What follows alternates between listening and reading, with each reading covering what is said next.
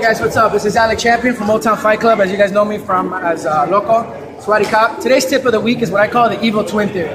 Just like Superman had the evil brother, you want to imagine yourself on this side. Don't be punching in at the throat. Imagine yourself here. Where's your face? Where are your ribs?